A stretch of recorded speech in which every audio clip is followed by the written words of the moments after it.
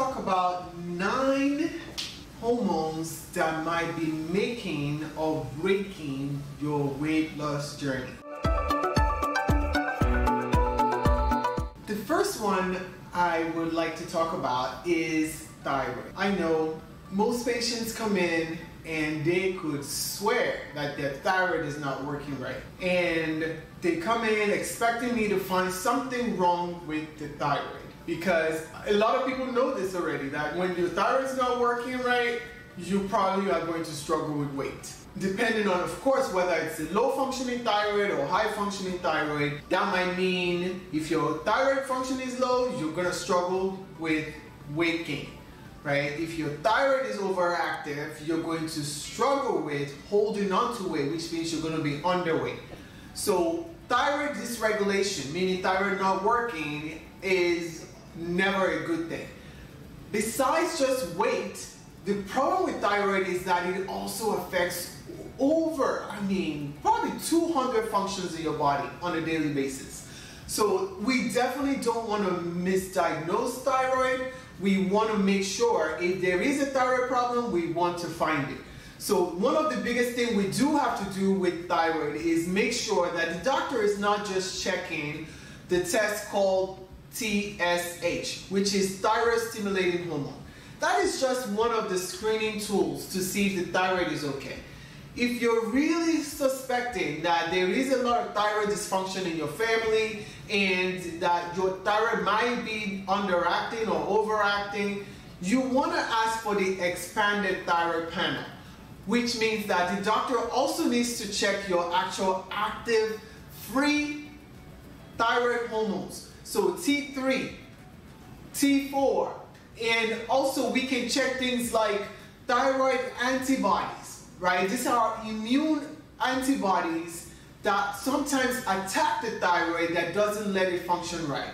So we want to check those. We sometimes call it TPO for short, standing for thyroid peroxidase antibody, or we do other one we also sometimes check is called anti-thyroglobulin antibody, okay? So we want to check these antibodies to see if maybe the thyroid is okay, but the immune system is attacking the thyroid and we call this condition Hashimoto's. Okay, so we want to make sure that we're not missing anything when it comes to the thyroid. So thyroid hormone not being optimal is one of the things that might be sabotaging your weight loss journey.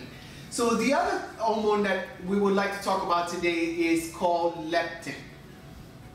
This one you might have heard of, maybe not. It's not you know talked about a lot, but it is something that is released from your actual fat tissue, your adipose tissue.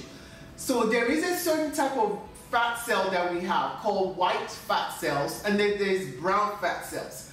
Okay, so brown fat cells usually burn a lot of energy, and we like those ones. And then there's white fat cell that doesn't burn a lot of energy. Okay, so that white fat cell releases a hormone called leptin. And think of leptin like the hormone that tells your brain that you're full, and that's its way of controlling your hunger. So if your fat cell feel like they, they're looking for partners, they want other fats, and you know how they say misery likes company? Yeah, fat cells like to bring a lot of company. So whenever you have a lot of fat cells, guess what they're doing? They're constantly signaling your brain to kind of bring, bring it, bring some more friends. Okay, so leptin is one of those hormones that they actually release to tell your body whether you're hungry or not. And by doing so, they make you eat and eat and eat and gain more fat cells. So they're kind of calling for friends, if you will, okay? So leptin is something that we can actually test for and look and see if your level is high or low. And it can be one of the things sabotaging you, okay? So next hormone that I we usually look at is insulin. I have seen so many labs come back with patients that have been struggling for years to lose weight, and the doctors never check their insulin level. They check their glucose level, they check their cholesterol level, they check their blood pressure, they check their hemoglobin A1C, which we talked about the other day. Like, they check all those things, and those sometimes come back fine. But the doctor does not check their insulin level. Well, this is a problem because insulin is a hormone that signals for your body to store fat. So why wouldn't the doctor check that if you are suspecting or struggling losing weight? Or maybe even some patients gaining weight, right? You want to check your insulin level. It is a simple blood test, the same way we draw blood for everything else. It's just an additional test that the doctor can add to see what your fasting insulin level is, right? So insulin will signal to your cell, hey, cell, take up this glucose, turn it into energy. Or if you're not needing energy right now, turn it into fat, right? And store it away. So you want to know if you have way too much insulin floating around. Because if that's the case, yes, it is going to be harder for you to lose weight because all this signal that's bombarding your cell telling it to store fat, store fat, store fat, right? So we want to find things to do that is going to naturally bring your insulin level down. And we're going to talk about those in other videos, what kind of supplements we can do, what kind of exercises we can do, what kind of foods we can do to help bring insulin level down. But for now, just know that you want your doctor to check your insulin level, okay? So that is a hormone that will definitely cause your body to hold on to fat, okay? So next one, the third hormone, I mean sorry, the fourth hormone is cortisol. What is cortisol? Cortisol is, as we know it, commonly know it, is the stress hormone. Stress hormone cortisol is released in our adrenal gland.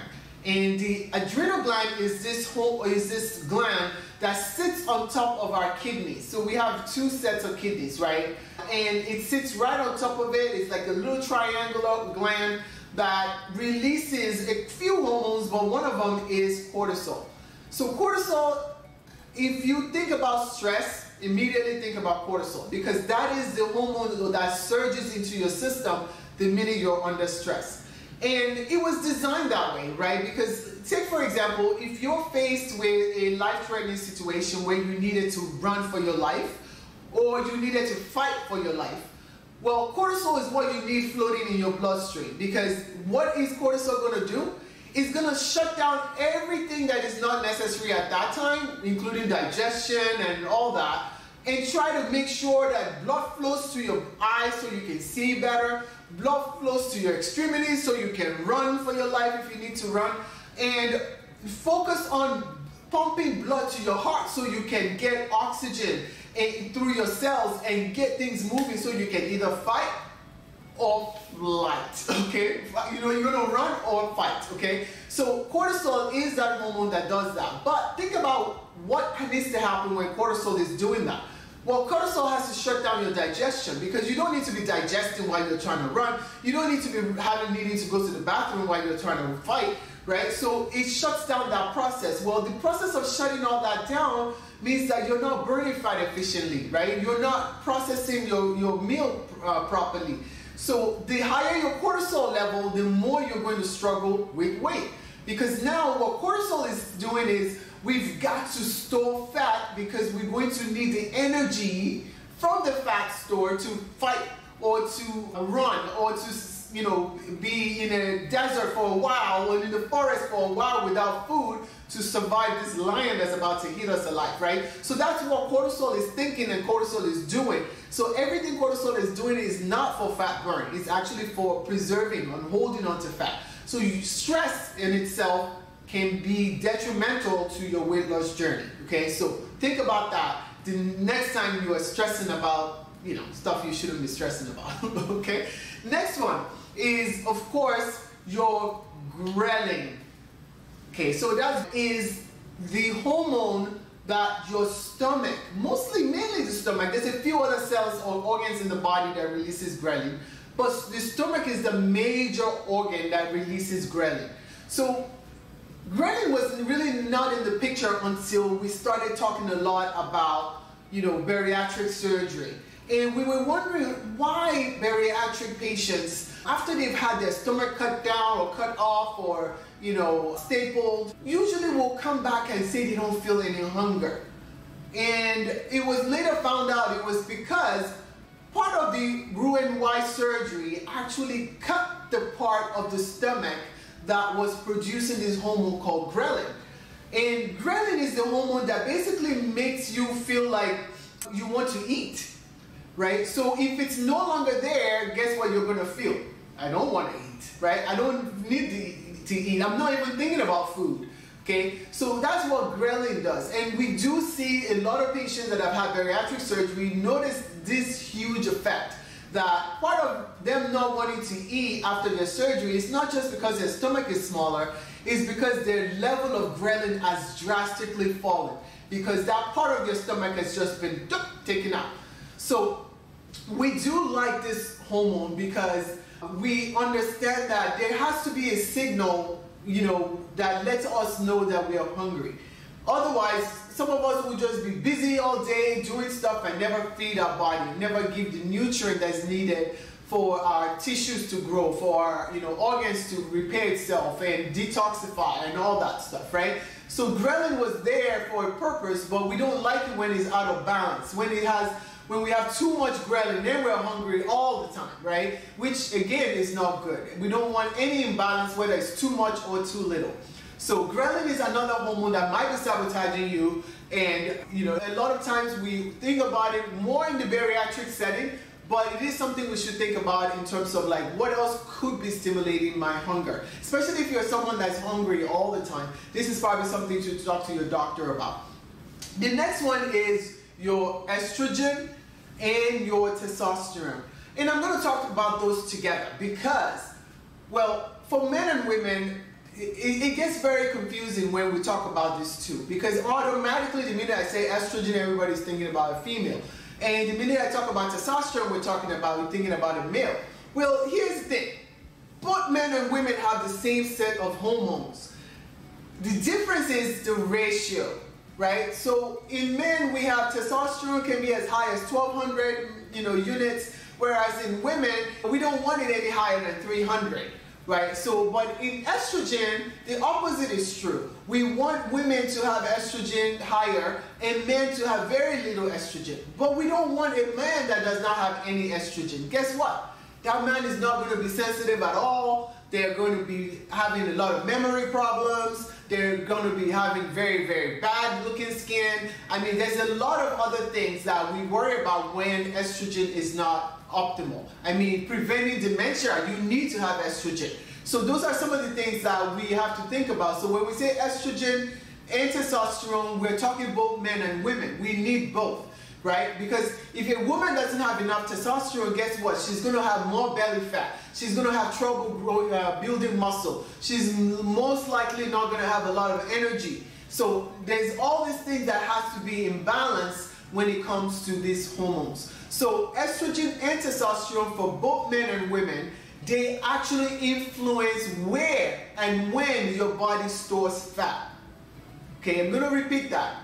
Estrogen and testosterone influence when and where your body stores fat. So when you don't have enough estrogen and testosterone, you're going to start finding that you are having this abdominal fat gain. Okay, you start having what we call the bear belly, the postmenopausal uh, gut, right? We start seeing all these things because these hormones are low. So we have to be in balance at all times. That's the whole point. Okay, so when these hormones are optimal, we start to see shrinkage in this belly fat. So that is crucial because now as belly fat grows, now we start releasing other hormones that make more fat grow in other places and then more dysfunction in our heart, more dysfunction in our pancreas, more dysfunction in our liver, and so on, okay? So these two hormones are very, very important that we keep them optimal regardless of what age you are. And don't let anyone tell you that it's okay to be older with no hormones. Unless you're ready to die, you need hormones, okay? Because they are the chemical messengers of your body. Your brain needs the hormones to talk to your tissue. If you don't have hormones, the brain can't talk to your tissue. Like how, the brain is not going to step down, walk all the way to your liver and tell you what to do. It's got to sense something. And what it senses is the hormones. So you have to have the hormones for that to happen. So if you want to live here on this earth long, and be functional and not be in a home somewhere where someone is taking care of you instead of you taking care of yourself, you want your hormones optimal, okay? So estrogen, testosterone needs to be optimal at all times, regardless of whether you're in the postmenopausal era. It doesn't matter if you're in your 70s, in your 80s, you need to have optimal hormone levels, okay? So next hormone I'm gonna talk about today is called adiponectin, a hormone that helps to control the breakdown of sugar, right? So the no not the breakdown of sugar, but it helps you in controlling sugar levels and fat breakdown in your body. Okay, so if your adiponectin level is not optimal, we're going to see some problems with fat breakdown, how you digest fats, and how your body controls your blood glucose level. Okay, so I won't go into much into that one, but let's talk about the last one that I'm going to go talk about today. Peptide Y Y. Okay, so we call it PYY, some people say. Basically, this is a, a, peptide, a little small protein. When a protein is small in structure, in terms of its amino acid sequence, we call it a peptide. When it has a huge amino acid sequence, we call it a protein. So just so you, so you know that difference. So when, it, when we say a peptide, we're talking about a very small protein structure. And basically, this is one that is actually will bind and tell your brain that you're full and that you don't need to eat anymore. So those are some of the hormones that might be influencing different things going on in your body. You're not even understanding why all of a sudden you feel like you've eaten but you're still hungry, or you've not eaten and you're not feeling hungry. You know, so different things might be going on. There might be an imbalance in these hormones, a shift in these hormones. Maybe your body's making one more than the other. Maybe your body, you know, has gone through a surgery that has cut part of your body out that supposed to release some of these hormones so you're kind of out of balance. So those are some of the things that we think about when we're, you know, you're coming in and you're having, you know, struggle with your weight. We're thinking about which one of these hormones potentially might be affecting you. And so sometimes we'll give you peptides as treatment to try to help correct some of this issue. Sometimes we got to replace your thyroid. Sometimes it's not all the way low, but it just needs to be optimized. Sometimes it's just nutrients we need to give you, right? We've had patients that have, you know, thyroid dysfunction because they don't eat enough foods that have iodine in it. You know, we've had, you know, patients with, you know, really, really high estrogen level. And we need to uh, try to get things into their body like cruciferous vegetables and supplements such as DIM to help lower that estrogen level so that they're not constantly building fat, right? So there's a lot of things that we have to think and balance and shift so that your weight loss journey can be successful. Hopefully this has been helpful. If you have other hormones that you feel like I should have talked about and didn't mention, please mention them in the comment section below. I would love to make another video talking about those soon. Alright, see you.